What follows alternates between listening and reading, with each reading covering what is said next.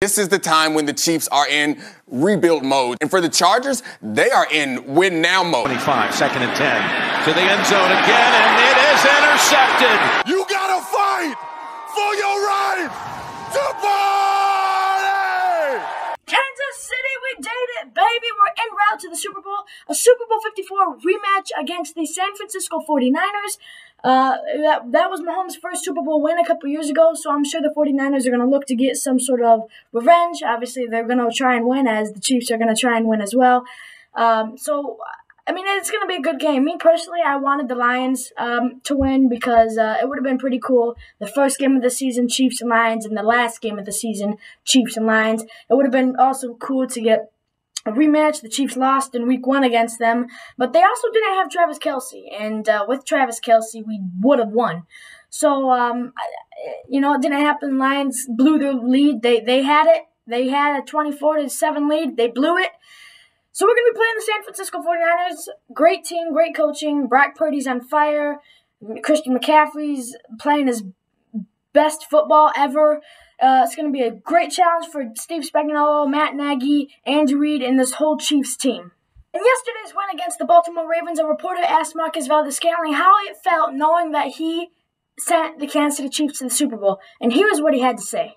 Hey, it was never me, man. I got a great team around me. You know, no matter what the outside say, man, we know what we got in this room and we got in this building and this show right today. What's it gonna take to win the Super Bowl? Keep being us, man. Keep being resilient. Battling through adversity. That's what we've been doing all year. We back at it. Valdes-Scantling helped make the game-winning catch to help send the Chiefs to the Super Bowl in yesterday's game. Uh, Marquez Valdes-Scantling has dealt with a lot this season. He's dropped multiple game-winning passes, multiple catches. He's been under fire all season. And me personally, I I was I was back and forth. I didn't like him at some times, and then I was trying to give him more chances.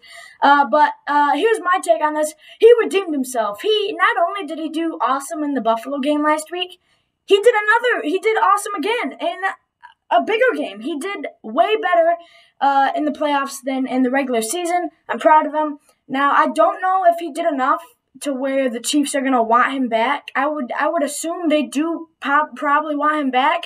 Uh, but I'm also gonna think that he needs to take a little bit of a pay cut if he wants to stay in a Chiefs uniform.